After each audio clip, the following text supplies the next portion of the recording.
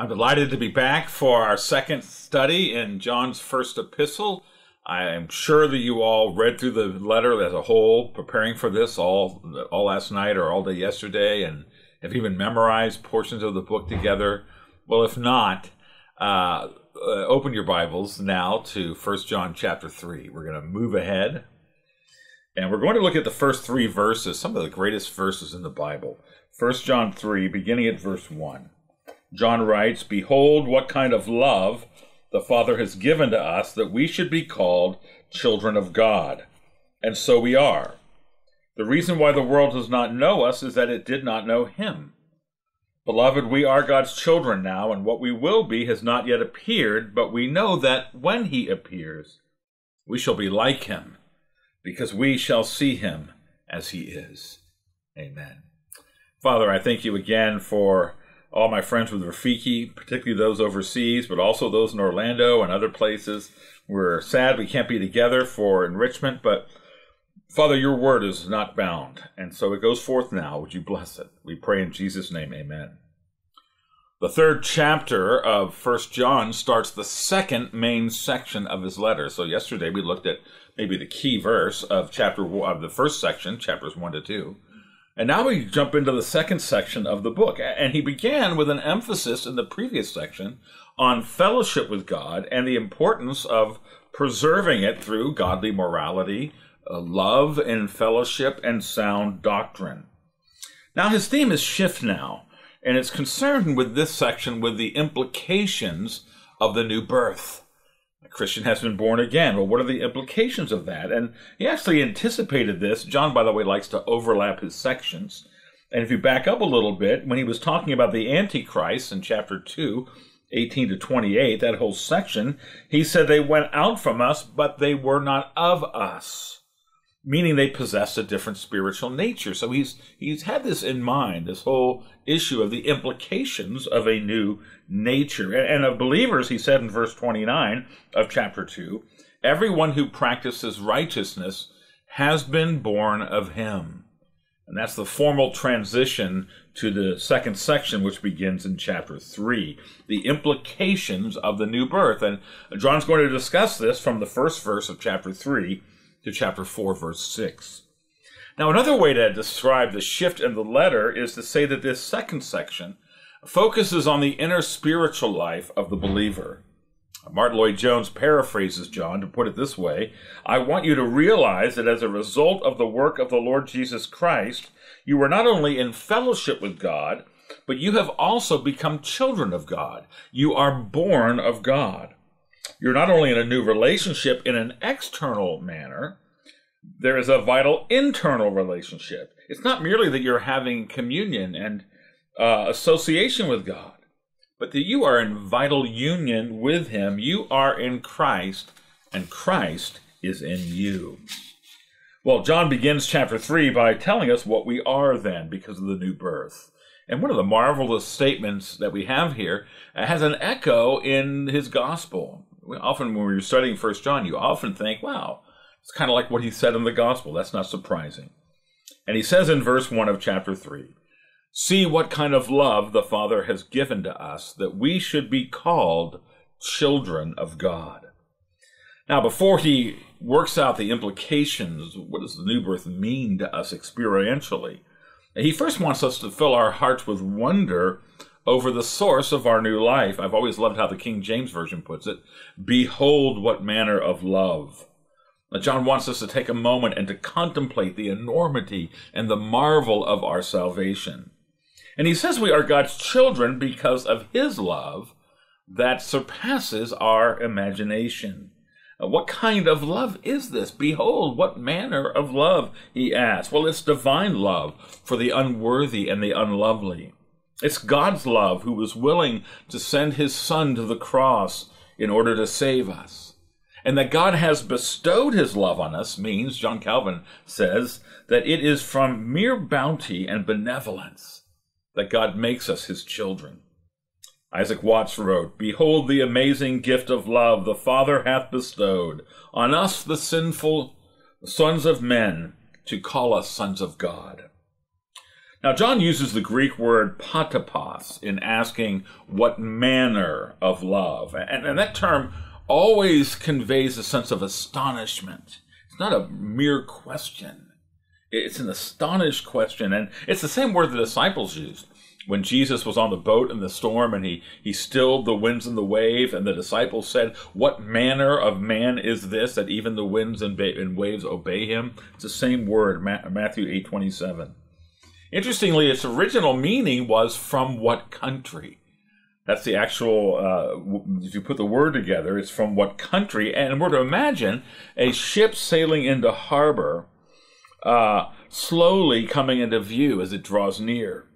And the excited people, they strain to see what kind of ship it is, where it's from, and they want to see what its trim is, what its banner is, from what country. And see, that's the excitement that John feels asking us to behold what manner of love that comes from heaven. Ian Hamilton writes Truly, God's love for sinners is out of this world. It's undeserved, unsought, and freely given. Now, God's love looks upon rebellious sinners, and through the sacrifice of his Son, God makes us into his own children, his beloved children. And there's three ways when we, we should think about being children of God. It's a hugely important subject. So if we're a child of God, what does that mean? Well, there's three ways we should think of it. First of all, we have received a new legal status. We are no longer enemies of God. We are not even mere servants, but we have been made children in God's family. Uh, you often see this emphasis in the Apostle Paul, and, and you see it in John's statement that, that we should be called the children of God, that we should have the status of children of God. You see, God has filled out the adoption papers. He signed it with the red ink of Christ's blood. And as a result, secondly, we receive privileges as God's children.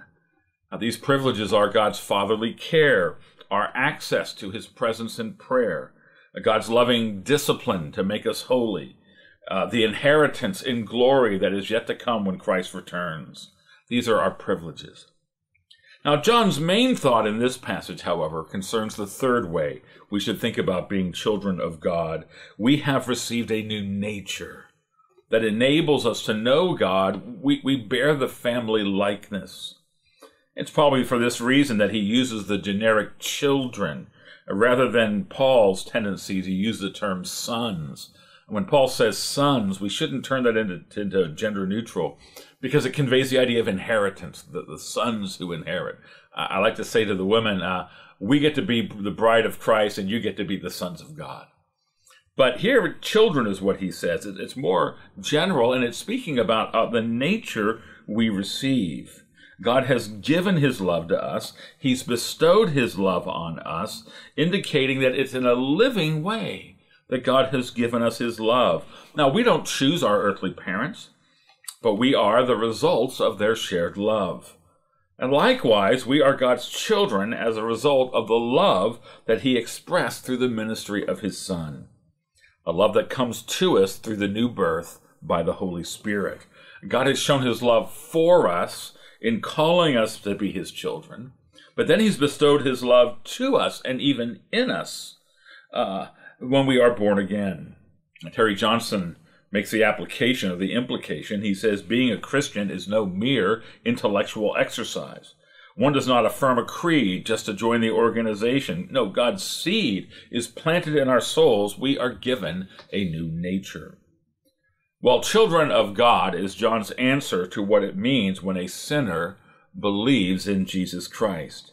And he insists on this new identity, and so we are. That is what we are. Behold, what manner of love it is that we should be called the children of God. So we are. Verse 1.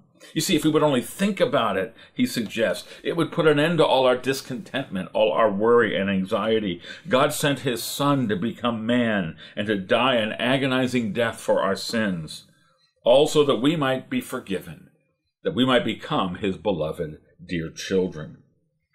Now, in this life, very sadly, we often learn, even from our parents, that if we want to be loved, if we ever want to be accepted, we have to become good enough according to some standard. And many Christians, I think, for that reason because of past experiences. Many Christians think that way about God, and so they're ceaselessly trying to do enough to feel sure of their salvation. Uh, one of the things they often do is go to the mission field. Uh, but, but we don't need to do something to be sure that we're accepted by God, that He loves us. Uh, John says this, uh, it, this is the meaning here. He says, Your salvation begins with God's love in the new birth, and He has made you His children forever. All that we do for God, everything that we do, will never earn His acceptance. It's merely the way we thank Him for His unfailing gift of love. Now, God's sovereign initiative in our adoption is emphasized when John says that God called us. See, it was, it was a work of God. He was the initiator. It was His will. John Calvin says, It is God who with His own mouth declares us to be sons. We did not persuade Him, but rather He called us. And Paul similarly wrote that God chose us in Christ before the foundation of the world for adoption to Himself as sons through Jesus Christ. Ephesians 1 4 and 5. Now, as such, our adoption as God's children is permanent and irrevocable. Uh, just as uh, our legal status is as unalterable as God's children, so also by the regeneration of the Holy Spirit, we eternally are the children of God. We eternally have a new nature. Now, it probably needs to be said, and it should be obvious, that the Bible rejects the false teaching that says that God is everyone's father. Everyone's a child of God, whether they believe or not. Well, you can use that language in a generic sort of way. We are his offspring, Paul said in Acts 17. But a father child love relationship belongs only to those who are born again to faith in Jesus. John wrote in his gospel, John 1 11 and 12. To all who received Christ, who believed in his name, he gave the right to be called the children of God, who were born not of blood, nor of the will of the flesh, nor of the will of man but born of God. It is only those born again to a living faith in Jesus who are the children of God. Now, John's concern in all of this is not merely doctrinal. The doctrine is very important, but he does have a practical concern. And to this end, then, the second point he makes, his first point is, what are we? We're God's children. What manner of love is that? What are the implications of that? But then he also goes on and he points out the experience that we have now in this present age of the world. We are the children of God. What now? We've been reconciled to God. But now the effects of our rebirth are being taking are taking place, and one of them, he says, is that we are alienated from the world. Verse 1 The reason why the world does not know us is that it did not know him. So there's the bad part of the bad news. You're accepted by God forever. He loves you, but the world will not love you generally. Now, as John puts it, the, the Christian is a mystery to the world. And that's one of the reasons we're so routinely misunderstood. And the thinking goes like this if you really were God's child, well, shouldn't you manifest earthly power, wealth, vitality? And yet, so often, we're the most humble, the most oppressed, the weakest of all people. That's the way the ancient world thought of Israel. If they really had the true and living God as their God, shouldn't Israel be the great imperial power instead of Babylon or Egypt or Assyria? Earthly princes, princes are known by their rich garments, by their train of servants. They, they go through this life kind of floating through with an air of splendor. But Christians? Paul said in 1 Corinthians 1 26 and 7, Not many of you were wise according to worldly standards, not many were powerful, not many were of noble birth, but God chose what is foolish in the world to shame the wise. Well, given that situation, the world reasons why would anyone want to be a Christian, giving up the pleasures of sin and then bearing the reproach of Christ? Well, John explains the world's dismay over Christians by pointing out that it did not know him, that is, Jesus. The world did not know Christ. Despite his marvelous teaching, his incredible miracles, he even raised the dead. Jesus had a remarkably small following during his earthly ministry. We should never be dismayed if our faithful labors have produced what seems to be a small amount of numerical fruit. Uh, Jesus' ministry did too. It turned out all right. Uh, when Pontius Pilate offered to show mercy to Christ, the, the people actually chose a criminal to be spared over him. And Jesus said, If they persecute me, they will also persecute you. John 15 20. Well, John notes that Christians experience our adoption in this world, in that kind of setting. He said, Beloved, we are God's children now. Even now, even in this world, with all that we just said, misunderstood, disliked, persecuted, we now are God's children. The mountains don't bring forth sound. They don't bring, break forth in song when we walk by. The, the trees do not clap their hands at our approach. Uh, that's the way Isaiah said they will someday. Isaiah 55 12 doesn't go on now. The world does not acknowledge our high condition. And so Christians should not be surprised when the secular media misrepresents our views, when neighbors whisper behind our backs. I, I came from a non-Christian family and a wonderful family in many ways, in most ways. But uh, we were not evangelicals. I remember my dear mother before she was converted at the end of her life. But I remember as a as an adolescent, and she would say, "Those people are evangelicals. You want to avoid them." John John Mitchell writes, "In many ways, Christians are a thorn in the flesh to those leaders who wish to bring in a world dominion without God." By the way, that's why the Roman Empire persecuted the Christians. They're trying to bring in utopia. They're trying to bring in the world domination. Christians aren't with the program. If the world had no place for Christ, it will have no place for us. Well, not only are Christians misunderstood by the world, but as John puts it, we are presently a disappointment even to ourselves. Look at verse 2. He points out what we will be has not yet appeared in the present we're like rough and unfinished construction projects, often with broken pieces falling around our feet. Uh, you think, think of in Africa, every building project has rebar sticking up from it. Well, so are our present lives. And so, with what pastoral insight does John continue? He says, What we will be has not yet appeared. Now, this is a book that is largely focused on assurance, and he's charged us to live lives of godliness, love, and truth. And we inevitably look at ourselves with alarm, and we see so many ways that we fall short. And so he points out we are not yet what we will be. Yes, a Christian knows an inward pull towards godliness, love, and truth, but the present reality is we still lose our tempers, we cover what belongs to others, we gossip about friends, we fall into error. Now, John's not endorsing those things, he merely acknowledges it. He said in verse 8 of chapter 1 If we say we have no sin, we deceive ourselves, and the truth is not in us. We are a disappointment, certainly to one another, but even to ourselves. So Christians are not only a mystery to the world, we are a mystery to ourselves. How, how, can I have these sinful desires when I've been born again? How can I be so selfish and unloving if I have union with Christ? Well, John knows we ask these questions, and so he reminds us, beloved, we are God's children now. And because that's so, his assessment can be reversed. He says, what we will be, we are not yet. But that also means that what we are not yet, we will be. What we are not yet, we will be. We're traveling a road that is God's blood bought children, led by the Holy Spirit, guided by Scripture, is going to lead us to a glory prepared from the foundation of the world. Yes, our experience now includes the world's disdain, our own disappointment.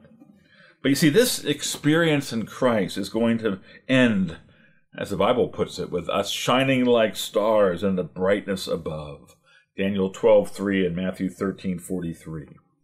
Harriet Buell wrote, I once was an outcast stranger on earth, a sinner by choice and an alien by birth. But I've been adopted, my name's written down, an heir to a mansion, a robe, and a crown. I'm a child of the King, a child of the King, with Jesus my Savior. I'm a child of the King. Well, it's to this inheritance that John then turns as he encourages us on our heavenward journey. What are we? We are now God's children. What is our experience? Well, we have the new life in us, but we're misunderstood, not that popular, disappointing to ourselves. But then he turns to the future, and this is one of the most soaring sentences in all of God's Word. 1 John 3 2. Beloved, we are God's children now, and what we will be has not yet appeared. But we know that when he appears, we shall be like him, for we shall see him as he is. Amen. So he's pointed out our present challenging experience, but he highlights that we still know some things, and the things that we know keep us going. At first, we know that even now that we are the children of God. Uh, Lloyd Jones says, We will never be more the children of God than we are now. You are either a child of God or you are not. And once you are a child of God, you are forever and ever going to be in that divine and eternal relationship. But there's something else we know. We know I'm not, I'm not that impressive. I know, but, but I'm a child of God. But we secondly know that my Savior is coming back and he's going to bring us into glory. He's returning in power to overthrow all evil, to judge the living and the dead. He's going to mention that in the verses that follow this. His people are going to be raised in glorified bodies in order to live forever in the new heavens and the new earth. Uh, Colossians 1, uh, 3 and uh, chapter 3, verses 3 to 4 speaks similarly. Your life is hidden with God in Christ. You see, it doesn't appear to be this way, but this is the truth. We know this is true. And he says, when Christ, who is your life, appears, then you also will appear with him in glory. Now we further know, we know that we're the children of God. We know he's coming soon, soon. We also know that when he appears, verse 2, we shall be like him. You see, what we are not yet, we will be when Jesus comes back. Our bodies will raise, rise from the grave at the call of the Lord. Uh, Paul says we will be changed in a moment, in the twinkling of an eye at the last trumpet. The trumpet will sound, and the dead will be raised imperishable, and we shall be changed. 1 Corinthians 15 51 to 52. Our bodies, even, will be glorified to reflect the radiance of glory that was seen in Jesus' own resurrection body. people say, What will our bodies be like after we're raised? Like Jesus' body when you read at the end of the Gospels. We will have that glory. Now, most significantly, when Christ returns, believers will experience not only the glorification of our bodies, but also the glorification of our spirits. We will be made holy just as Jesus is holy. And God's purpose has always had that end in view, that we would be conformed to the image of his Son. Romans 8 29. And in this present life, our lives are about the work of sanctification. That's the, the process of our becoming more holy is God's main work in our lives now. We're called to put on the new self, which is being renewed in knowledge after the image of its creator. Colossians 3:10. And you see when Christ returns, this present process painful, uh, sometimes very powerful, sometimes disappointing it seems, but it will be completed, he says. It will come to a sudden completion. Paul describes the, coming, the second coming as the revealing of the sons of God. Romans 8:19. Charles Wesley wrote, "Changed from glory into glory, till, till in heaven we take our place, till we cast our crowns before him, lost in wonder, love, and praise." But there's more, for John concludes, we shall see him as he is. Now, this life has a lot of incredible sights to see. You've probably seen a lot of them. There's the Grand Canyon, one of my favorites. There's the soaring Alps. There's the Great Rift. For those of you in Kenya, I've been there. There's a there's a beautiful sight of a bride walking down the aisle toward us in her white dress. Well, that's a sight to see. My oldest son was just married, just got the photographs last night of his bride and in his the tears in his eyes. What a sight that was for him. Uh, but there's nothing, my friends, that will compare with what we will see in the world to come. We will see the Son of God as he is in all of his glory in the unveiled fullness of his deity. And John Paul contrasts this future privilege with our present inability. 1 Corinthians 13 12. For now we see as in a mirror dimly, but then face to face. For now I know in part, then I shall know fully, even as I am fully known. 1 Corinthians 13 12. Well, the Bible often teaches that we must be sanctified in order to see God's face. Jesus taught, Blessed are the pure in heart, for they shall see God. Matthew 5 8. And Hebrews 12 14 urges us to strive for the holiness without which no one will see the Lord. Now, these verses teach the importance of sanctification in this life and the necessity of perfect holiness in the life to come. But you see, John adds some information here that it is the vision of Christ that will affect our spiritual perfection. When he appears, we shall be like him because we shall see him as he is. 1 John 3 2. This is the ultimate process, ultimate fulfillment of the process by which right now we're being transformed by contemplating Jesus in his glory and grace. Paul says in 2 Corinthians 3:18, we all with unveiled faith, we all with unveiled face, beholding the glory of the Lord, are being transformed into the same image from one degree of glory to another. We see on that day we will see him as he is, and we will be transformed uh, at, at the end. We, our sanctification will come to perfection.